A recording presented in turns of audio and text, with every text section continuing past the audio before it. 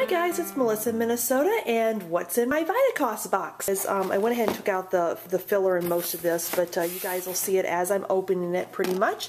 Um, I have uh, four boxes of the S'moreables, the graham cracker. Uh, in the summer months we do use these for your basic s'mores, but uh, as the holidays approach and uh, whenever I need a dessert on hand, this makes an excellent um, crust if you crush them up and add a little bit of uh, butter to it kind of make it almost like a um, crumbly texture and then I'll bake it on 350 for about 10 minutes just to firm it and then I can go ahead and make my dessert as usual. But I did get four of those because the holidays like I said are coming up and then I will need some things to take to uh, different holiday parties. I did order one more and this is in the bubble wrap but of the apple cider vinegar, and you guys can see that. Um, I'm not sure if that makes six so far in the last uh, month or so that uh, I have ordered, but um, like I said in my past videos, it's one of those things that we drink with um, water, uh, two tablespoons to about eight ounces of a glass of water and then it helps to keep your immune system healthy. It's also great for weight loss. And I'm trying a new quinoa. This is Living Now. This is a gluten-free certified organic quinoa, whole grain. Um, it's always made without dairy, wheat, soy, nuts, or eggs and this is certified gluten-free. This is the only one that I found on Vitacost that stated that it was certified gluten-free. You guys know that I purchased one before and it was made in a facility that also processed, I believe it was wheat, and I didn't want to take a chance on that.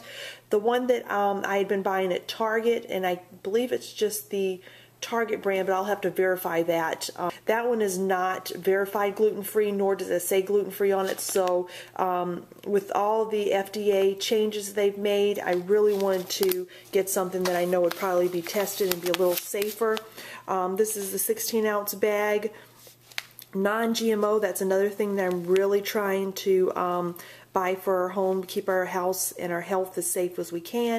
So I picked this one up uh, this time, and I'll let you guys know if you want if you want to know. I'm going back to, like I said, it's um, beginning of the holiday baking season. I picked up two of the Namaste uh, Foods, the uh, Perfect Flour Blend. You guys have seen that in my past videos. One of the new things, I don't think I've featured this in a video before. I picked these up at the regular grocery store, but again, you guys know I express Vitacost is, is cheaper than uh, what I can buy locally, so I picked up the Vans. I really like the Vans brand. The waffles are amazing. These are the Say cheese, uh, the gluten-free um, whole grain baked crackers. These are really good. My son really wanted um, some of these for snacks for school, so I picked these up. These are loaded with oats, brown rice, millet, quinoa, and amaranth. And uh, yeah, they're just really good, really crispy crackers, and I picked up two boxes of those.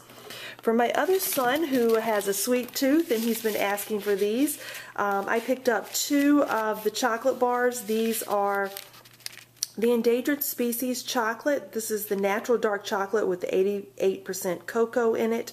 Um, again, this is certified gluten-free. Heard me say it before how sensitive I am, so if you have a high level of um, gluten intolerance and or celiac and need something that's um, certified gluten-free, these I would highly recommend. That would be it for this haul. It's a small haul this time, but I just need to pick up basic essentials.